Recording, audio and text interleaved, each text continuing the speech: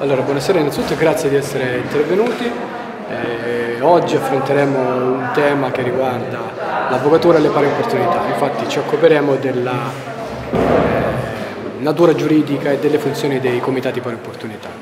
I, i comitati pari opportunità eh, eh compongono, fanno, fanno parte dell'istituzione dell'avvocatura, al pari del Consiglio dell'Ordine, dei Consigli di disciplina, dell'organismo congressuale forense e del Consiglio nazionale forense. Noi oggi affronteremo un tema che è appunto quello delle pari opportunità, un, un organismo che non è molto conosciuto eh, ne, nemmeno dagli addetti ai lavori perché è istitutivo della legge 247 del 2012 e oggi avremo modo di approfondire quelle che sono appunto le funzioni di quello che si occupa. Fondamentalmente dobbiamo occuparci di questioni di disuguaglianza o comunque di eh, disuguaglianza di genere per quanto riguarda l'accesso alla professione forense da parte degli avvocati più giovani piuttosto degli avvocati disabili piuttosto che delle donne. E sappiamo il gap reddituale che Cassa Forense ogni anno ci invia sulla differenza reddituale tra uomini, tra uomini e donne. Quindi affronteremo uh, questa argomentazione, abbiamo l'onore e il piacere di poter ospitare all'Ocri eh, preeminenti figure delle pari opportunità italiane, abbiamo eh, Tatiana Beggioni che è del presidente del CPO dell'Ordine degli Avvocati di Milano, eh, l'avvocata Pina Rifiorati che è presidente del CPO degli Avvocati di Udine, eh, l'avvocato Adriano Scardaccione che è tesoriere del CPO dell'Ordine degli Avvocati di Roma, l'avvocato Stefano Chinotti che è presidente del Comitato per l'Opportunità dell'Ordine degli Avvocati di Bergamo. E Daniela Latti che è presidente del CPO dell'Ordine degli Avvocati di Cagliari. Quindi adesso affronteremo questi temi. Ringraziamo ovviamente il Consiglio dell'Ordine che ci ha dato il patrocinio, ringraziamo il Comune di Locri che ci ha assegnato eh, la sala e ci ha concesso di poter discutere oggi in questa sede. Porterà pure i saluti eh, il Presidente Nazionale di Movimento Forense perché l'abbiamo organizzato in sinergia CPO Avvocati Locri e Movimento Forense che è un'associazione di politica forense generalista e eh, ci saranno anche i saluti portati da Maria Rita Stiro che è componente della eh, Commissione integrata delle pari opportunità del Consiglio nazionale forense che porterà i saluti della Presidente nazionale Maria Masi. Buonasera a tutti, eh, saluto tutti i presenti naturalmente, la mia Presidente del Consiglio dell'Ordine di Lotri che ringrazio per l'accreditamento di questo evento che abbiamo voluto fortemente ma che soprattutto ha voluto fortemente Rocco Lombardo. Naturalmente ringrazio tutti i relatori che sono venuti da molto lontano per omaggiarci e darci questa possibilità di condividere con loro le loro esperienze in questa materia che sembra mh, apparentemente semplice ma in realtà è molto complessa essendo trasversale rispetto alla mh, parità di genere che non è solo tutela delle donne o delle discriminazioni ma è ben altro, terzo settore e tutto quello che, che ne consegue, oltre alle problematiche dell'avvocatura che sono abbastanza importanti anche in questa materia. Eh, li ringrazio uno per uno, Tatiana Biagioni, Stefano Chinotti, eh, Daniela Latti, Pina Rifiorati, nostra conterranea che ci ha abbandonate e se n'è andata al freddo,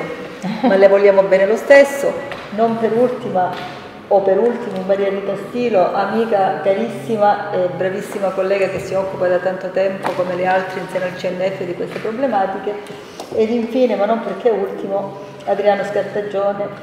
sempre presente e sempre, eh, sempre sul pezzo per quanto riguarda le pari opportunità. Naturalmente eh, ringrazio Rocco che si è speso molto per questo evento e ha dato veramente il massimo per la riuscita di questo, di questo convegno. E lascio la parola ancora una volta a Rocco per la continuazione di questo evento. Um, sì, oggi il mio ruolo è istituzionale, nel senso che porto, approfitto per portare i saluti della Presidente Masi, che presiede la nostra Commissione integrata per le pari opportunità e, e di cui fa anche parte il collega Stefano Chinotti. Um, oggi la, la, Presidente è impegnata in Campania, quindi nella sua terra, e ha delegato me per portare un saluto, altrimenti ci, eh, ci, teneva appunto che lei anche eh, per, per, delega fosse presente. Io um, mi limiterò a a poche notizie di servizio perché insomma giusto per in, in introdurre quello che poi ovviamente i nostri relatori ci parleranno.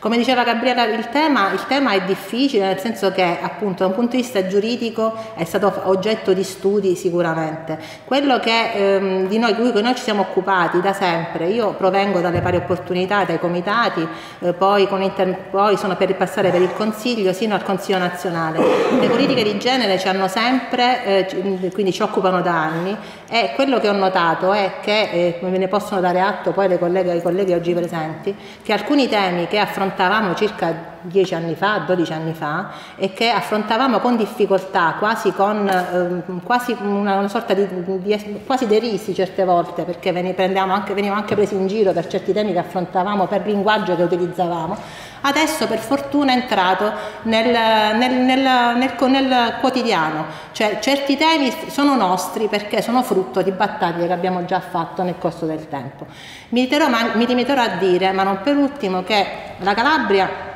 i comitati hanno fatto parte della rete Calabria, è stata la, la seconda rete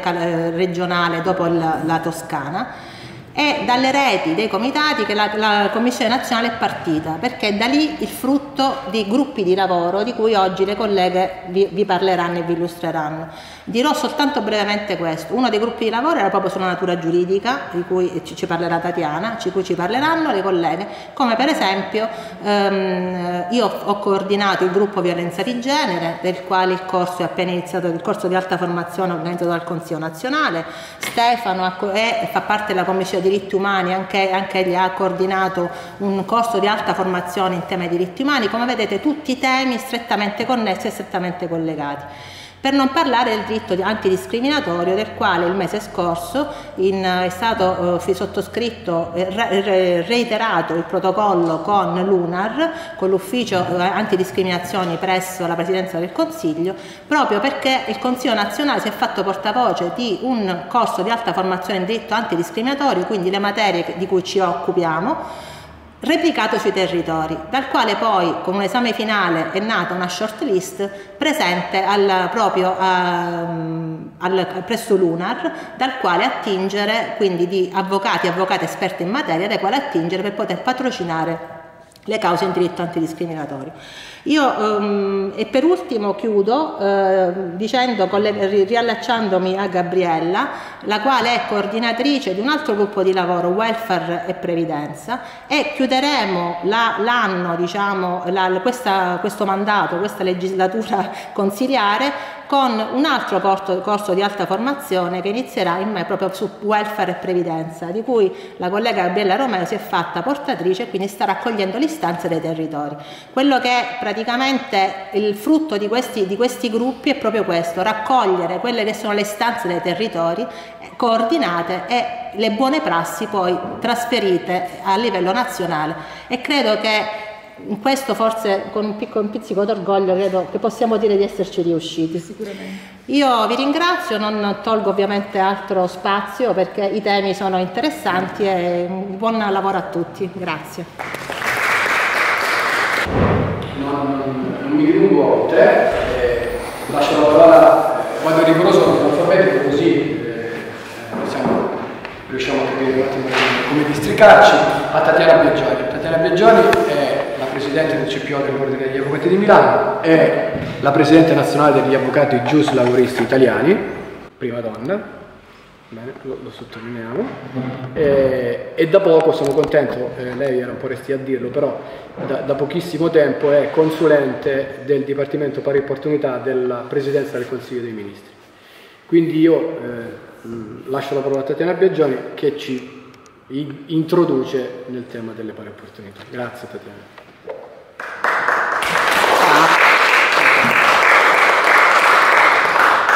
Allora, grazie a voi, mi scuso per la voce, ma è il meglio che posso dare oggi.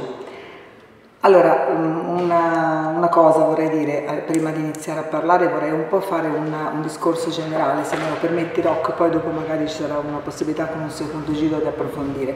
La prima cosa che voglio dire è che oggi all'OCRI è il mio ultimo intervento da presidente di un comitato pari opportunità,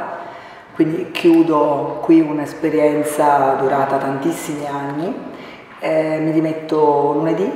cioè mi sono già dimessa, ma insomma è formalizzata la dimissione lunedì perché ho, ho tante altre cose, eh, non lascio assolutamente pari opportunità, ma lascio che siano altri a, a, diciamo così, a, presiedere il Comitato di Milano e quindi sono molto contenta comunque di chiudere al sud, di chiudere qui in, in Calabria. Eh, io volevo fare un ragionamento un po' più, partire con un ragionamento un po' più generale che riguarda le pari opportunità. Mi concentrerò sul genere perché il genere è stato in questo paese un po' quello che è stato negli Stati Uniti la razza, cioè il tema dal quale si è partiti per riflettere sul tema del diritto antidiscriminatorio, delle discriminazioni eh, in Italia. Allora, la cosa di cui parlo spesso quando comincio a parlare di pari opportunità è capire se eh, dobbiamo tutti riflettere su questo, ma esiste veramente un tema, un problema di pari opportunità in questo Paese? eh, esiste un tema di pari opportunità nell'avvocatura, non è una domanda banale, perché se esiste allora è giusto impegnarsi, è giusto il lavoro dei CPO, è giusto il lavoro che stiamo facendo, non è una cosa che dobbiamo assolutamente sottovalutare. La prima riflessione, quindi partendo dal genere, ma poi si anche tutti gli altri fattori di rischio, perché sapete che poi i comitati si occupano di tutti i fattori di rischio previsti dalla normativa, eh, è il fatto che in questo paese esiste un enorme tema di eh, discriminazione di genere nel mercato del lavoro, ad esempio. Il mercato del lavoro in Italia eh, sia del lavoro dipendente che del lavoro autonomo. In particolare nel lavoro dipendente è notorio che tutte le strutture, soprattutto nell'economia privata, hanno una struttura piramidale, quindi le donne hanno difficoltà che riguarda sia l'accesso alla professione, ma grandi difficoltà anche nelle progressioni di carriera e difficoltà e diciamo così, grande eh, differenza in relazione ai redditi e questo da qui nasce poi anche la mia collaborazione col Dipartimento perché ci occupiamo in particolare della norma, nuova normativa che riguarda la certificazione delle aziende in tema di pari opportunità, quindi dopo anni in cui si è affrontato questa tematica, quindi finisco questo ragionamento dicendo che sì, c'è un problema molto grande di, di discriminazione delle donne nel luogo di lavoro, manca l'ultimo pezzo che è quello forse tra i più rilevanti che è la maternità che poi è il nucleo che comporta tutta una serie di difficoltà nel rapporto lavorativo in particolare subordinato. Ecco questa, nuova, questa legge insomma relativamente nuova un anno fa del 2021 ha previsto una, la certificazione di genere nelle aziende che quindi cambia un po' il paradigma che è stato utilizzato fino ad oggi, se fino ad ora il, la normativa era relativa soprattutto alla, diciamo così, eh, avevano un intento di protezione della donna e di punizione della, diciamo così, della norma quando non veniva applicata, ora si cambia paradigma si pensa a una, diciamo così, una trasparenza delle aziende e si pensa anche a una premialità. Sì, dopo che ha preso la parola Tatiana Biegioni diventa sempre un po' una strada in salita quella di mantenere il livello.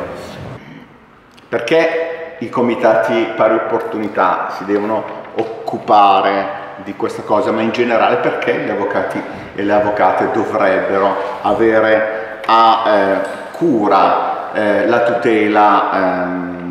delle minoranze sessuali, delle minoranze religiose, prima non l'ho detto, eh, eh, delle eh, minoranze, tra virgolette, razziali.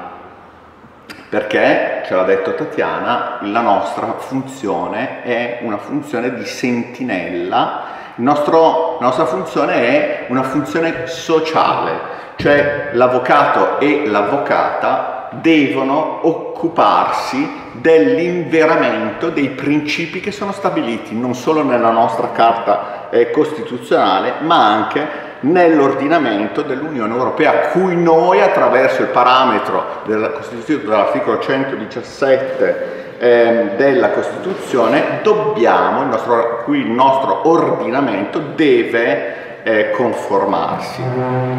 Ma eh, mm,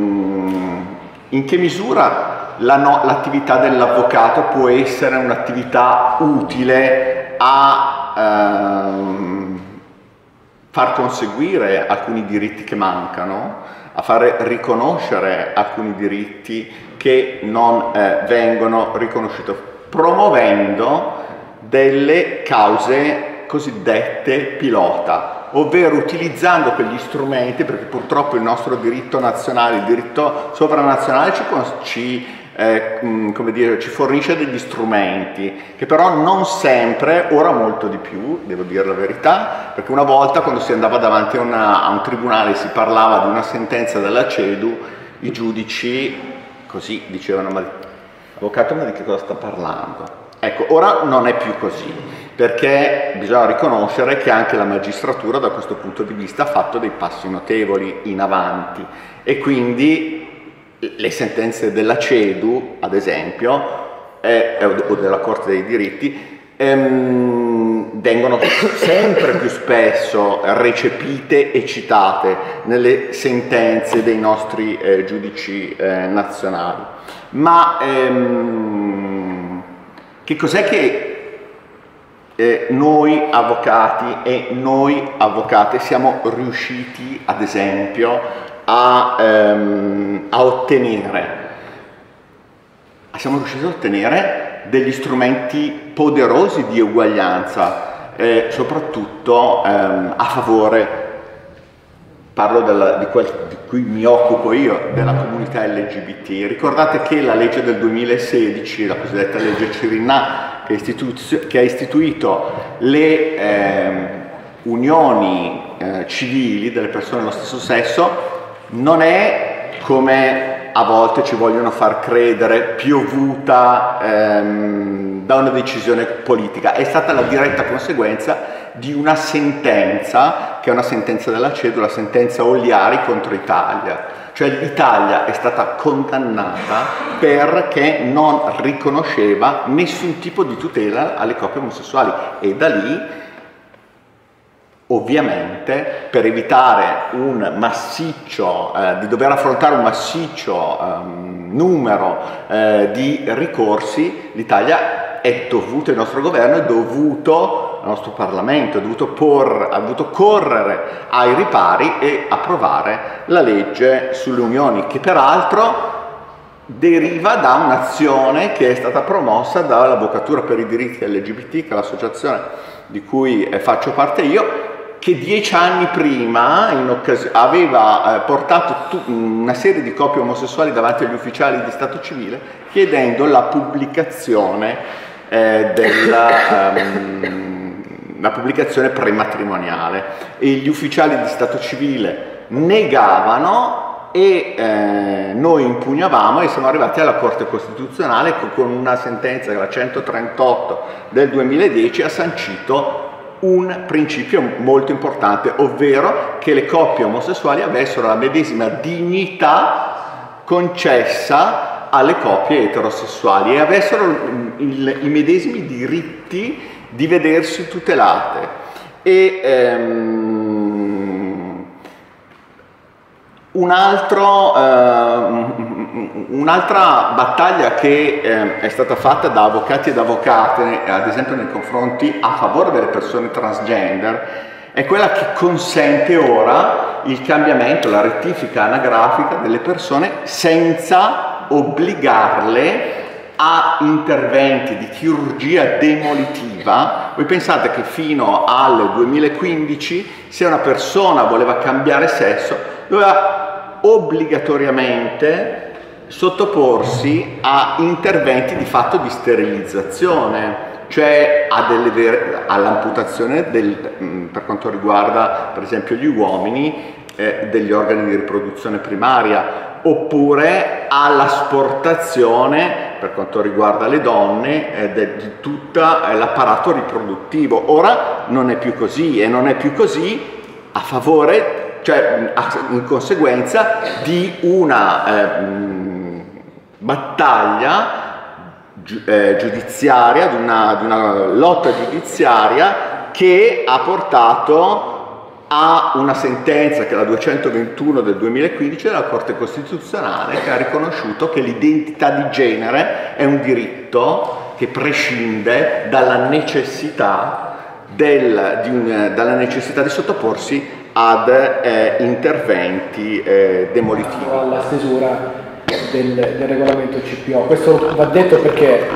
lo diciamo, diamo la premessa, noi viviamo su un regolamento che è stato emanato dal CNF eh, con delle maglie talmente larghe che consente eh, praticamente a ciascun CPO di muoversi all'interno di queste maglie. È necessario secondo me partire dall'origine della storia dei comitati pari opportunità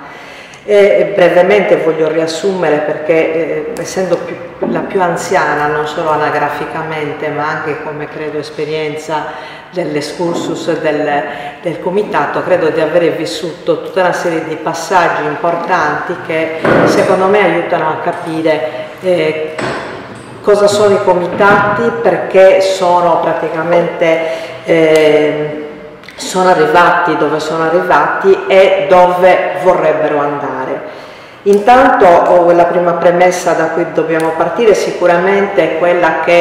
eh, hanno accennato eh, in precedenza sia Tatiana che, ehm, che Stefano, e che eh, praticamente c'è stata questa istanza a un certo punto anche da parte del CNF di voler, eh, mi pare era la guida ALPA, ehm, che eh, chiamò Carla Guidi che eh, è dobbiamo ricordarla, una, il faro delle pari opportunità all'interno dell'avvocatura, eh, non solo eh, territoriale perché toscana ma nazionale, che eh, mise le basi a quella che è la prima commissione delle pari opportunità, che prevalentemente diciamo, eh, compì una funzione di studio della materia e soprattutto di eh, individuare quali erano eh, gli aspetti diciamo, eh,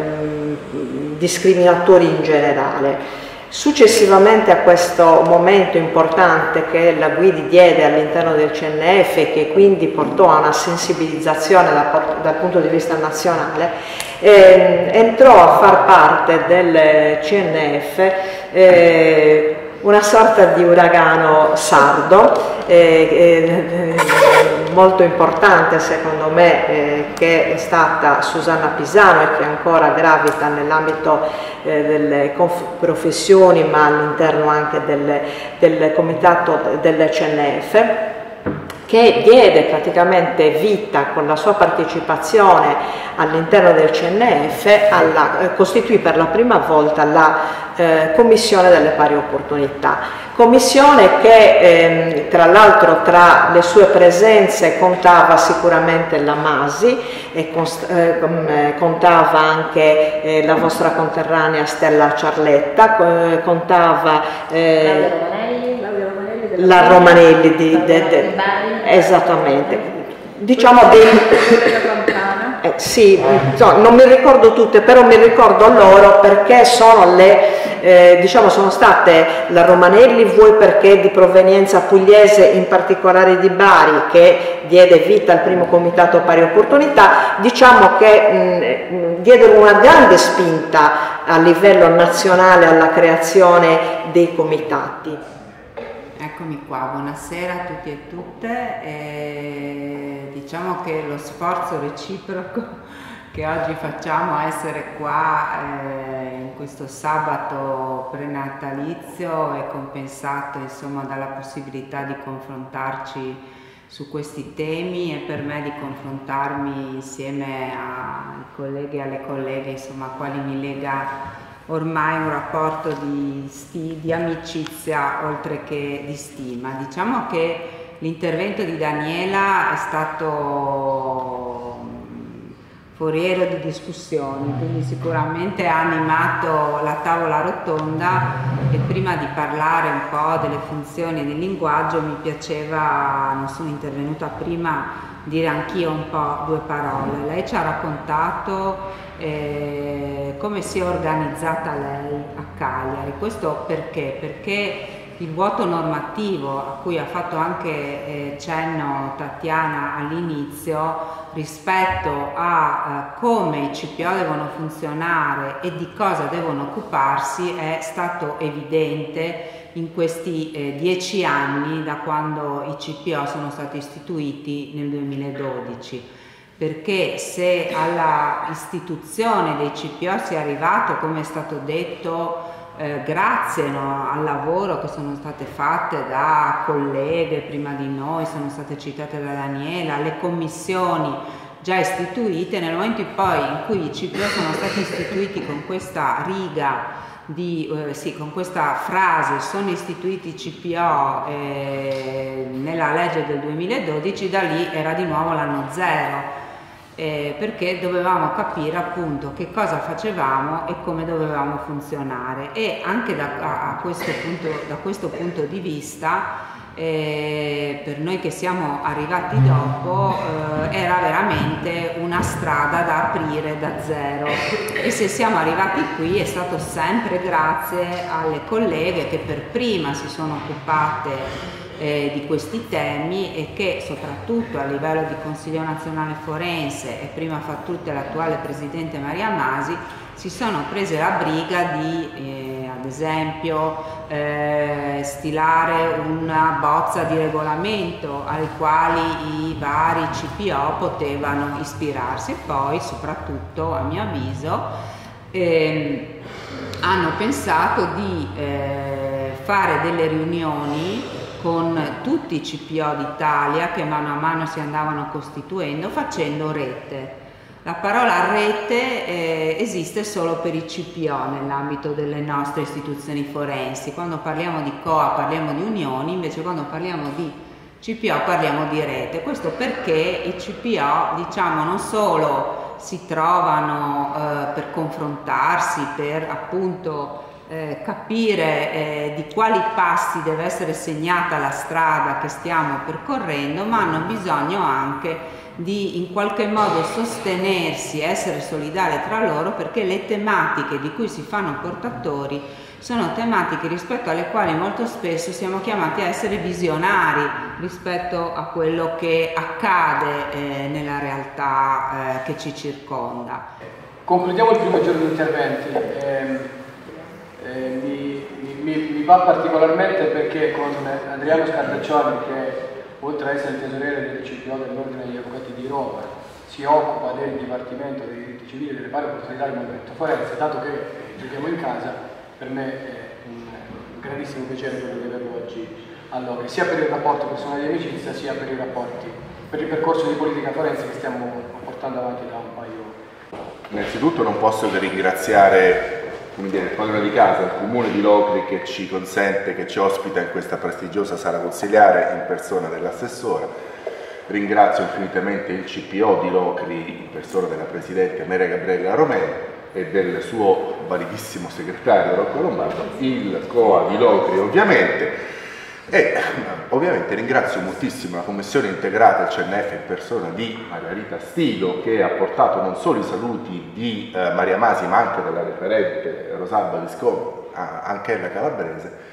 ma soprattutto è inutile che ci giriamo attorno, devo ringraziare quell'uomo là, l'avvocato, quello che ha commesso l'errore, eh, perché comunque molte battaglie eh, che abbiamo portato negli ultimi anni hanno creato questo rapporto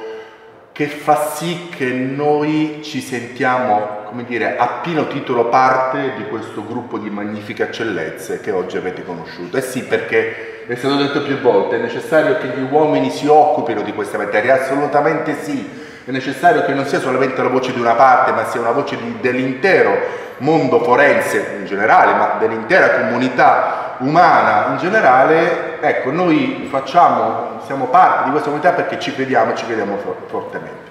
Allora, eh, al di là di quella che è la sollecitazione di Rocco, in realtà io mi sono segnato solo sette piccoli punti da trattare, quindi entro domani mattina spero di aver terminato il mio intervento, anche perché, come diceva l'assessora, eh, no, al di là della campanella che suona, io questa mattina ho mia figlia che suonava all'Accademia di Santa Cecilia in orchestra e non mi perdonerà mai il fatto di non esserci stato, insomma, però ciò nonostante cerco di fare tutto, io mi sento molto avvocata uomo. Perdonate la provocazione, l'ha detto più volte Tatiana in altri incontri, anche, anche, anche Pina, io mi sento un avvocato uomo perché la questione linguistica per la quale i CPO sono continuamente derisi e sottovalutati è talmente importante che non vedo il motivo per cui ci debba essere un'avvocata donna e non ci debba essere un'avvocata uomo. Io mi sento a tutti gli effetti un avvocato uomo. Perché questo? Perché le questioni linguistiche delle quali eccellentemente ci ha parlato Pina prima non sono assolutamente questioni di carattere formale, ma sono questioni di una sostanzialità incredibile. E non solo per tutti gli attacchi, più una, una, un'idea viene attaccata, più questa idea è valida. Ora, senza andare in ambiti che semplicemente nominarli fa raccapricciare, insomma pensate a quello che sta accadendo in Iran, in Afghanistan e in altre comunità internazionali dove la possibilità di manifestare proprio pensiero è soppresso con la forza e molto spesso purtroppo anche con la morte, non siamo per fortuna a quei livelli, però comunque sentirsi dire che la questione linguistica della quale si occupa il CPO è una questione marginale perché ci sono altre cose più importanti, allora facciamole le altre cose più importanti, non limitiamoci a contestare e criticare ciò che viene fatto, ma facciamo veramente tutto ciò che è importante.